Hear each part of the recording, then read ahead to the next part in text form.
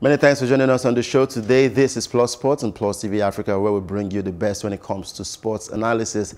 Well, this morning I've got a guest, and uh, we'll be looking at the issues bugging grassroots and also how sports can be used to recreate hospitality, fitness and talent hunt, and of course youth bonding through um, sports. And uh, we'll be looking at the project as well. I've got uh, Olumide Aturu, the founder and director of Five Stars Football and Consultancy Limited. Welcome to the show. Thank you so much. It's been a long time. It's really been. Mm -hmm. And uh, of course, I know you've been doing a lot of things uh, when it comes to the world of sports, trying to bring up um, the youths. Yeah, we've been trying our best. Exactly. yes.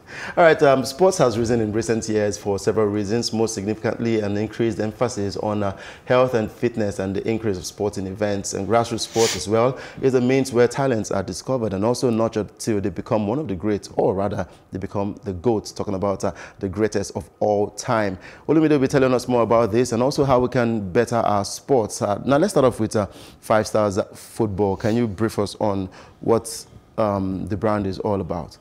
Yeah, so the brand was born out from uh, the passion mm. from uh, football. Yeah. So while growing up uh, as a kid, we've always had passion to play football, mm. and then uh, it metamorphosed to since we couldn't play professionally, mm. so it metamorphosed to us making others play professionally. One, making others get education, inclusive sports yeah. too, and then making sure it affects the economy of our nation. Mm. So uh, these all uh, qualities are, are, meshed together to actually uh, burn out the brand mm. Five Stars five Football. Stars. Yeah. Now, talking about um, um, education because I know most people think education and sports don't go hand in hand. But hey, if you must be a sportsman, you should also have a level of education because there are some terms in sports that you need to understand. Uh, and if you don't have a certain level of education, you just might be uh, thrown off uh, balance in, in that one.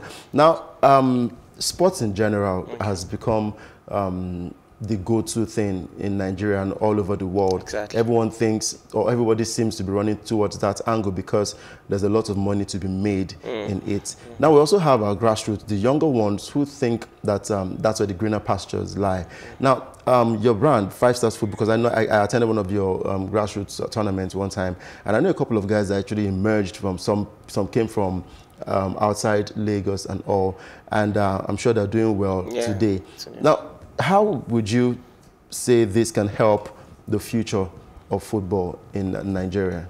Okay, uh, like you mentioned, they're mm. doing well today. Mm. So if we have more of such initiatives, mm. if we have such uh, activities replicated all around the country, yeah. we'll have more people doing well. Mm. And these people doing well will actually uh, encourage others to pick up education with uh, football or mm. other sports. So. Yeah in a way, it has actually reduced the the the people who are actually not doing anything. Mm. People who actually have a passion for um, playing football or other sports. It will actually increase their participation uh, in general. So mm. basically, uh, we have a lot going, and then you already know how these things are, and the more participa uh, participation from people mm. out there the better it gets uh, mm. to the populace. Mm, very true. Now, um, let's talk about um, talent hunt. Um, because I met a couple of coaches who spoke about the talents that they um, discovered in, in, in this. What is the, um, how do you pick these people that come for football tournaments? How do you get to select quality players and how do you get to convince their parents to allow them um, play football?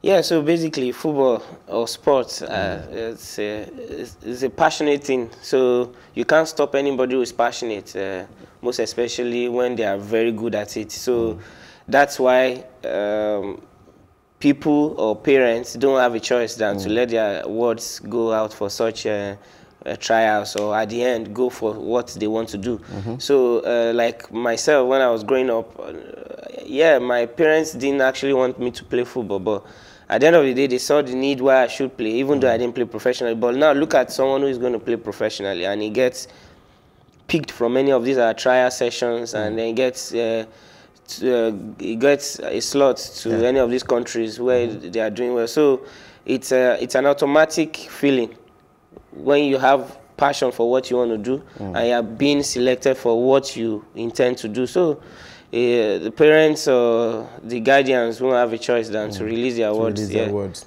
Because I've, I've seen a couple of um, tournaments that you held, not just in Lagos. There was also one in I think it was Abuja, Mm. Yeah, Abuja, Port Cup. Now you're bringing the cup to Lagos for us to enjoy Mm. football because we, we all know that Lagos um, is the center Yeah. for football Mm. excitement and all that. yes. Now um, going straight to the um, tournament now, what should we expect? That's on the 16th of February. February, yes. So basically, this particular tournament is woven around the hospitality industry, and then uh, we're trying to merge entertainment with hospitality.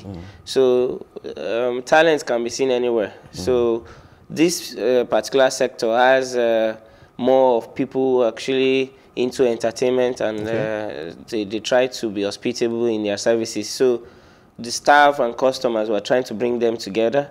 And then uh, for it's a it's a day competition so teams ranging from nightclubs lounges restaurants and all of that in lagos will be participating we had the first edition last year and then this is the second edition and it promises to be better Mm, Better now, because you, you talked about entertainment. There's there's been a lot of um, complaint from the sports sector that we use. We tend to um, look at the entertainment sector um, to bring in fun into the sporting world. What happens to bringing in the former players, probably from the Super Eagles of Nigeria. What happens to them?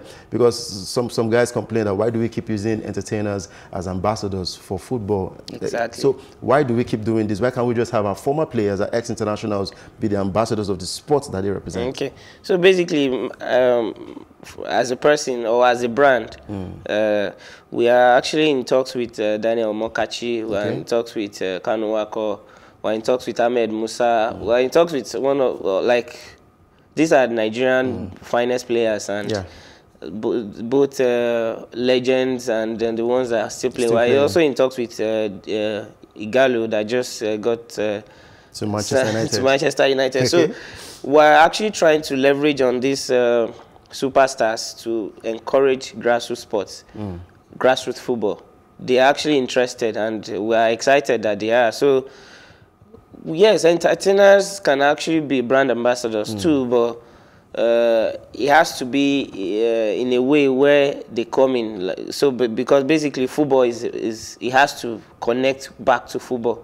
So, like football celebrities has to be part of football initiatives. So, but you can't rule out entertainment because even in the world biggest clubs um, leagues, they still have entertainers Entertainment, as yeah. ambassadors for their for their events because the blend of entertainment is what brings people to come and watch the mm. football. So you can't run away from entertainment when it comes mm. to driving traffic back to the stadium, mm-hmm. when it comes to making people talk about it after the match, mm. and then when it comes to also making players and also team managers and the spectators to have it's it's a revolving thing. So it has to blend everybody together. But at the same time we need to engage our football celebrities we need to engage especially our legends True. so they need to work more and then be part of sports initiatives which are they are currently doing I'm sure they're very responsive uh, to your call. Now, um, the entertainers, I think this is another means of um, publicity for our local league, talking about the Nigerian Professional Football League.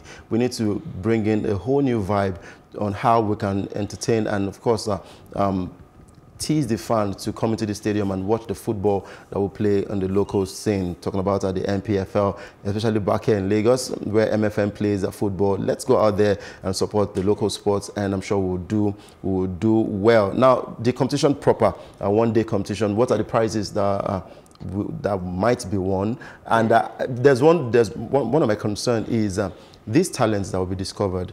What is the plan? The long-term plan? Are they going to eventually feature for the age grade um, Eagles and someday get to play for the Super Eagles? Is there a connection with the Nigerian Football Federation? Yeah, um, let me not lie to you. When you are good, you are good. When you are good, when you see uh, a star, a talent, you know this is a talent. So it automatically speaks for themselves. Like the last event that we had in Abuja, the most valuable player, the most valuable player had uh, a, a direct slot, and because he was got uh, scouted Okay. and he's going to Russia. So when you're good, it's you don't need to do a lot. People just know, oh, this guy is good, and then he has to play for this. We're in, we're in connections with uh, um, a lot of scouting agencies and people are willing to help good players. You know, also our last league was endorsed by the NFF. Oh, wow. So yeah, yeah. So basically, we are we are trying our best to make sure these things are also formal and official. Yeah. So. All right. Um, thank you very much, uh, Olumide Aturu, for coming on the show. Any last words before um, you leave? Yeah, so basically, we as a brand, we're trying our best to actually promote and encourage grassroots sport development in Nigeria. And then, uh, uh, so far, I've been seeing a lot of people trying to do the same thing. So, the more the more noise, uh, the more noise we make, the more uh, advocacies, the better it gets. Because the government can't do everything. True. So we need to also take up responsibilities as uh, in, um, citizens to encourage this, and then I'm sure with more voices we will get there. Mm-hmm. With more voices will get there talking mm. about grassroots sports. And of course, uh, the media will surely give support to this because this is what will enhance our sports and someday will become one of the great world beaters mm. right there. I like to say a Nigerian emerge as a world best player and not just in football, in all other sports, even in the Olympics. Let's win all the gold medals right there.